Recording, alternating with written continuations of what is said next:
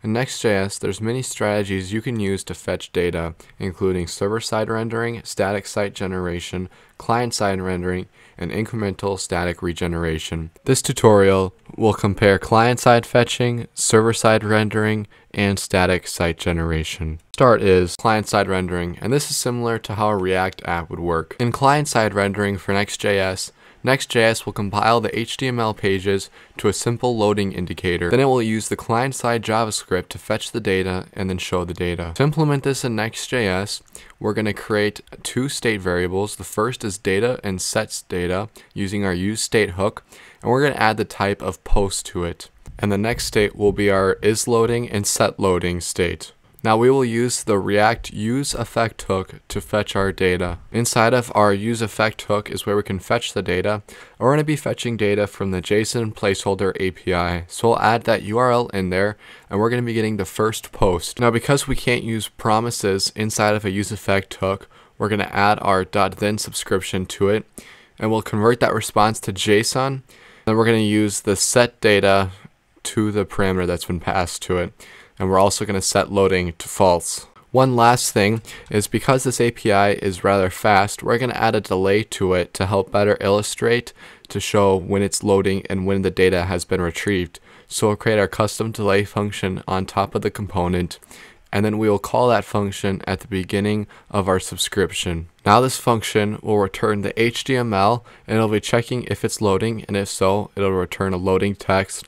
Otherwise, it will return the JSON stringified of data. If you run this code in your browser, you'll see it'll show loading for a few seconds, and then it will display the post JSON data. This approach to fetching data is less costly as server-side rendering as you don't have to pay for the server fetching your data, and it is faster time to first byte as well. However, the one downside to this is your SEO performance won't be as good as server-side rendering as the page is rendering first the static loading indicator before showing your data. Next we have server-side rendering.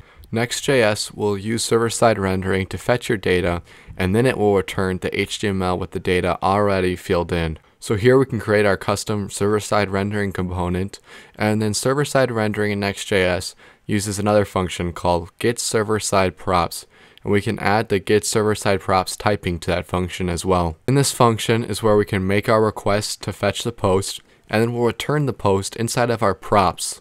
It's worth noting that you can use the context parameter passed in to get things such as the URL path and query parameters as well. So every time someone hits this web page, the Next.js server will call the get server side props that'll run on the back end which will then pass in our post to our component above. So this component is a simple component which takes in the post and the props, and it simply will be returning the post.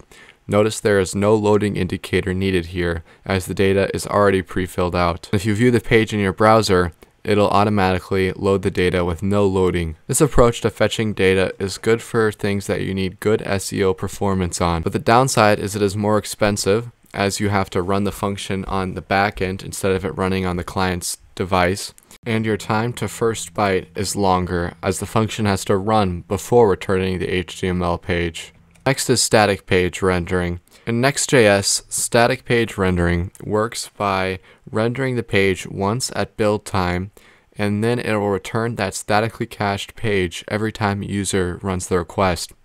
This differs from get server-side props because get server-side props will run every single time that the web page is hit, whereas static side rendering returns the same results every time. Code-wise, the only change you would have to do is change the name of the function from get server-side props to get static props. All the other code can remain the same. Get static side props is good for data that won't change frequently, but is tedious to write manually in your code. For example, on my website, DevInfluence, I use the get static props function to show the popular posts in my web page, as this data won't change frequently, but is tedious to encode manually on my website. Hopefully you found this video helpful for you as you decide which data fetching method to do. And if so, please like and subscribe as I'll be posting more videos like this in the future.